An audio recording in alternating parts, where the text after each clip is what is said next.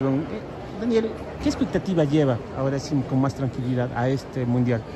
Bueno, Jaime, muchas gracias por la, por la entrevista. La verdad que, eh, como le mencioné, hemos trabajado duro, eh, muy conscientes de lo que podemos hacer. Gracias, a, gracias a Dios llegamos sin lesiones, sin contratiempos, entonces estamos bien, estamos en forma y, y, pues lo que siempre queremos es ir a luchar por, por una medalla, por una alegría al país, entonces ese es el gran objetivo, la verdad. Daniel está inscrito para los 20 y para los 35 kilómetros. ¿Hay la posibilidad de las dos pruebas, participar en las dos pruebas? Eh, sí, la, la, verdad vamos a participar en las dos pruebas. Eh, mi prueba es el 20 ya desde hace muchos años, entonces uh -huh. estamos eh, concentrados en esa prueba, pero no descartamos que puedo hacer un buen 35 y también de aquí para el futuro para seguir evaluando eh, eh, las competencias, cómo van nuestras características de 20 al 35 y pues yo creo que por ahora el, el 20 es el más importante, pero no descartamos que pueda hacer una buena actuación en el 25. Va como uno de los mejores rankeados actualmente a nivel mundial, ¿eso es una ventaja para usted? Bueno, la verdad que, que el tema de, de, del ranking al final en la competencia es... Eh, no, no, tiene mucho que ver porque todos los chicos que van a participar eh, van a dar lo mejor, tienen, llevan una muy buena preparación, a lo menos en nuestra prueba es muy abierta porque tenemos a muchos deportistas que están en un alto nivel. Entonces el objetivo es hacer una buena estrategia y, y, pues que esta estrategia sirva para estar en las posiciones estelares. Justamente, ¿en qué ha consistido la preparación con miras a este mundial?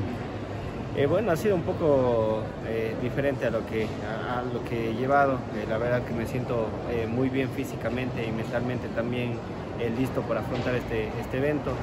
Y pues hemos tratado de, de, mejorar muchos aspectos que pudimos evaluar en, en Europa que, que, hacían falta. Hemos mejorado en esos aspectos y creemos que estamos al 100%. Esa preparación en Europa es, es fundamental.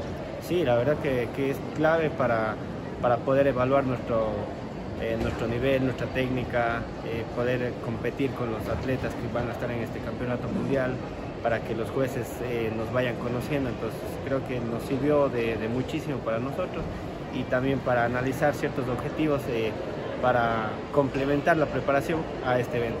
¿Va con la suficiente experiencia para un, un reto como este, un mundial?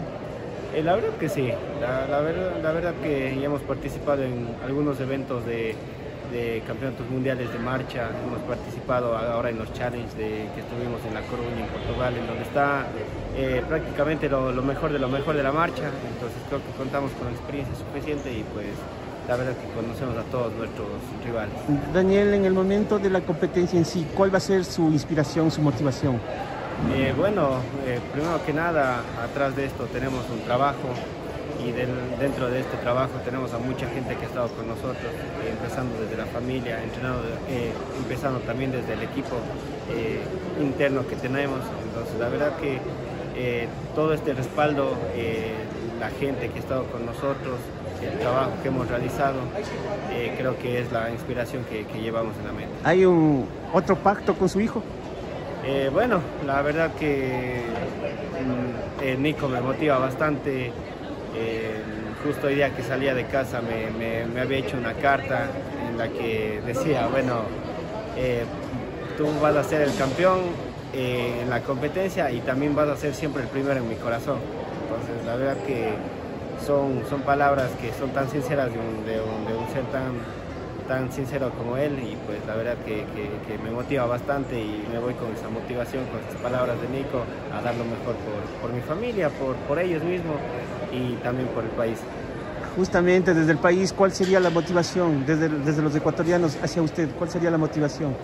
Bueno, la verdad que, nosotros venimos de, un, de, un, hogar humilde donde sabemos que se tiene que trabajar duro para, obtener las cosas y creo que eh, dentro del país, dentro del Ecuador hay muchas personas que, lo viven así, que lo sienten así, entonces esa es una gran motivación de saber que, o, a través de este esfuerzo saber que se puede salir adelante siempre trabajando duro. ¿Cuál es el mensaje finalmente y deseándole éxitos desde ya? ¿Cuál es el mensaje que deja usted para los ecuatorianos? Eh, nada, que, o sea, que si las personas, o sea, bueno, si tienes objetivos hay que trabajar duro para cumplirlos, pues, y, y, siempre siendo conscientes día a día de lo que se puede hacer, ese es el objetivo, y pues ahora tratamos de, de cumplir este objetivo participando en este evento y haciendo lo mejor de nosotros. Gracias, Niel, y éxitos. Listo. Gracias. gracias.